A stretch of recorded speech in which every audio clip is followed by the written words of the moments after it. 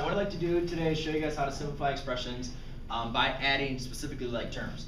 Notice also in each one of these problems, I'm also have parentheses, so we're gonna have to go and use the distributive property, which I've showed you on another video. So the first thing, when doing the distributive property, that's the first way I want to simplify my terms. Well, first of all, actually, first thing I want to look inside the parentheses. Is there anything I can combine inside my parentheses? Because if I'm using PEMDAS, I always gotta look at inside the parentheses first. And I look in here, I cannot simplify x minus two because they're not like terms. So therefore, now I'm gonna have to go and use my distributive property. So I get a three x minus six minus five. And therefore now I understand that I can only go ahead and subtract a negative six minus five because it's not the same, because um, those are like terms and they're not the same as three x. x has an attached variable which we don't know the value of x, so therefore you cannot add it or subtract it to your regular numerals. So we're just gonna give three x minus eleven. On problem letter B, what I need to do, again, can I simplify anything in, in these terms? And you notice I can, because A and A, those are like terms, right? They both have an A, so I can combine them.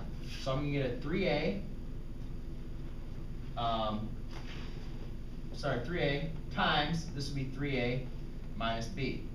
Now when I combine my, now when I use my distributive property, I get nine A squared minus three AB. Okay?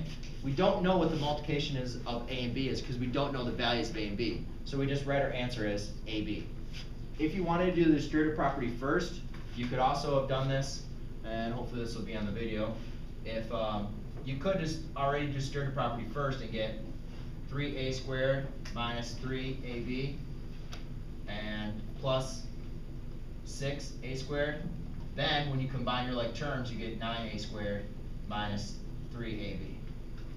So that is a different way to do it. However, it's always easiest to simplify your problem first before you actually um, doing your next work. Over here, I'm gonna have to use again my order of operations before I do anything.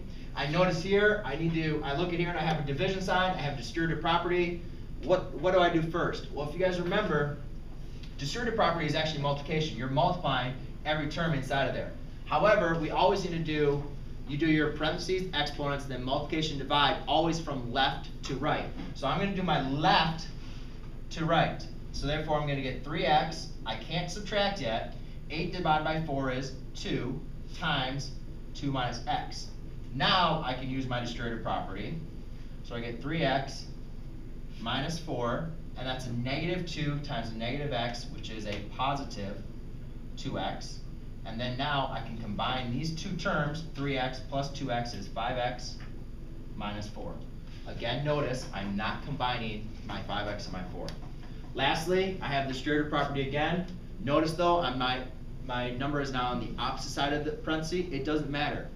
Still, whenever you have a, a number or a variable or a term that is outside of a parenthesis, and there's no operation sign, then we assume it's going to be multiplication. And when it's multiplication, you have to make sure you multiply times every single term inside of there. So here I get ax plus a squared x plus 2ax. And then I notice that these two are exactly, again, the same terms. So therefore I get 3ax plus 3a squared x. Okay? So that's how you simplify expressions by adding like terms and I guess using the distributive property. I get it.